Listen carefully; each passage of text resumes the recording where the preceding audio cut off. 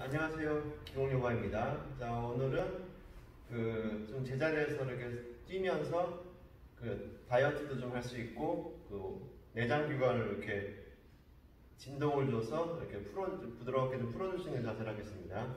그리고 이 자세는 이제 심폐 기능이 요즘 많이 떨어져 있는데 그 심폐 기능도 좀 높일 수 있는 자세 운동법입니다. 동작은 간단합니다. 같은 손과 같은 발을 자 이런 식으로 들어줍니다.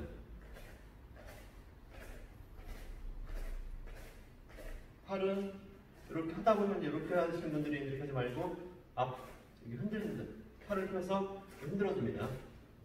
대신에 같은 손과 같은 발을 들어줍니다. 자 이거는 그냥 지금 준비 운동이고 뜁니다. 같은 손과 같은 발에서 이렇게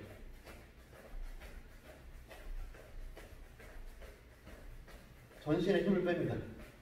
자 발은 이제 앞꿈치로만 이렇게 바닥을 딛고 무릎은 처음에 이렇게 낮게 들다가 뒤꿈치가 살짝 들다가 조금씩 높이 들어줍니다. 팔은 이렇게 너무 높이 들지 마시고 어깨 높이 정도 이런 식으로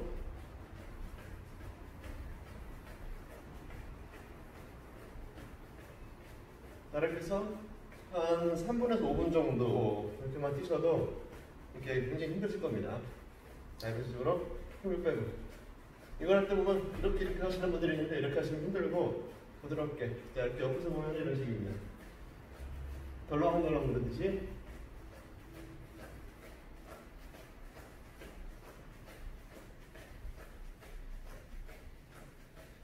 자 배가 이렇게 흔들리도록 손을 놓고 있으면은 배가 이렇게 흔들리도록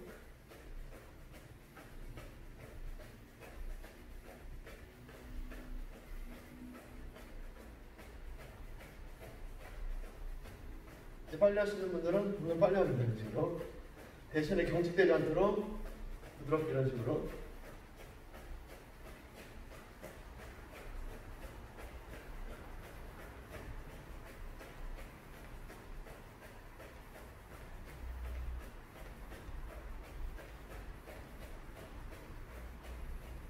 멈출 때는 한 번에 멈추지 마시고 천천히 천천히 동작을 멈춥니다.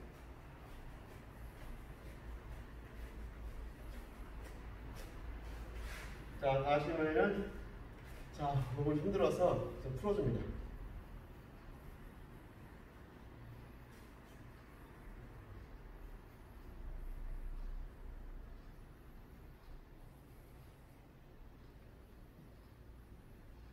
자, 무릎이 안 좋으신 분들은 다 하시면 좀 비벼서 자, 무릎을 이렇게 비벼주시거나 따뜻해질 때까지 항상 그 따뜻해질 때까지 비비는 겁니다. 아니면 척수거나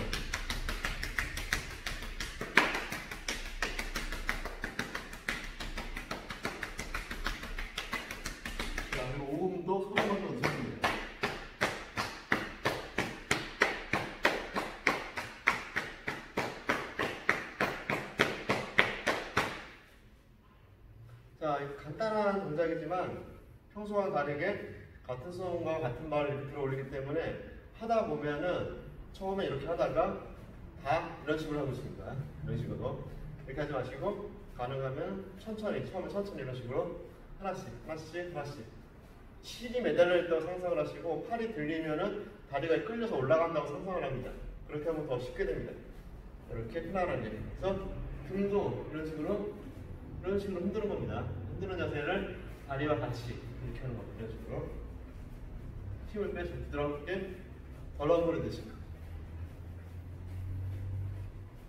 이렇게 하시면은 그 복부 쪽만 풀리는 게 아니라 어깨와 등 전신이 풀립니다. 그리고 기분도 좋아집니다.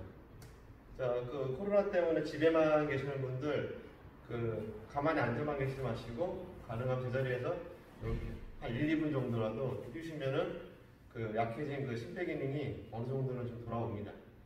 무리는 하지 마시고 적당하게 하고 마지막에는 바로 앉지 마시고 이렇게 한다면 가령 서서 이렇게 삭보하듯이 산책하듯이 조금씩 걸어서 호흡을 좀 가다듬고 이제 안정이 되면 그때 이제 앉아서 TV를 보시거나 휴식하시거나 하시면 됩니다.